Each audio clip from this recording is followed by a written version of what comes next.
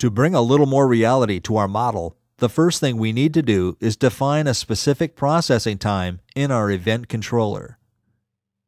For this, we double click our event controller, select Settings, and establish an end of 1 or 1 day. Now we select Apply.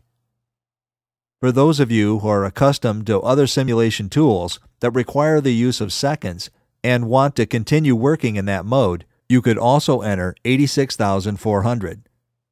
But it is easier to work with a more realistic term of measurement like days, hours, and so on.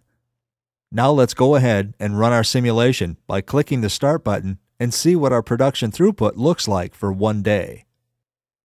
Once the simulation has reached one day's worth of production, it will automatically stop. We do have the option of continuing to run our simulation by just clicking the Start button again, in which case it will override our one day end time and simulate continuously again. We'll go ahead and double click our drain, select Type Statistics, and we will see that we have had a total throughput of 1,436 parts.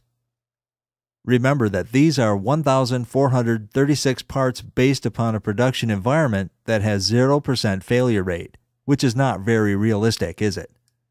We'll make a mental note of these 1,436 parts for reference as we move forward. Many of you might be thinking, I can do all of this in Excel.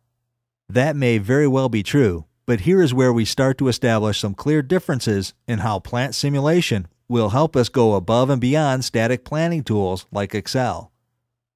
Let's bring a little further realism to our model, because we all know the availability of a production line can vary. To do this, we need to adjust the availability setting under the failure section of our single proc objects. Because of plant simulation structure, we actually have two methods of accomplishing this change. First, we would be adjusting each individual child object, similar to what we did earlier when we looked at the individual object parameters. The second method, the one we'll use here, is to adjust the parent object. This takes us a level up from the child and allows us to modify all of our single proc objects at one time. To do this, we right-click the single proc object in our toolbox under Material Flow. Once there, we can select the Failures tab and change our availability to 80% with a mean time to repair, MTTR, of 8 minutes.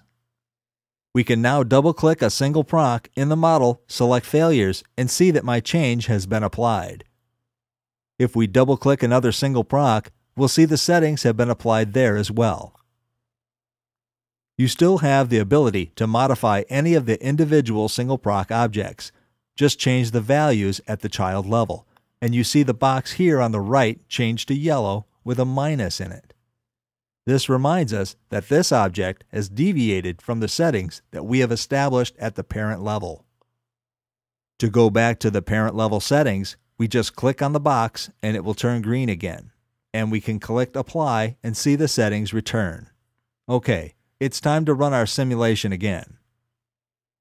I'll reset the previous run and then click Start. Immediately, we notice two of our status indicators on our single proc objects are showing red, indicating that there are failures.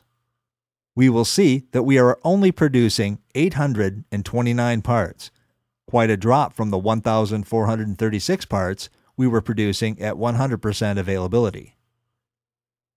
All of this was very easily achieved with a few simple parameter changes, as opposed to researching and developing some very complex mathematical formulas that may or may not drive Excel accurately.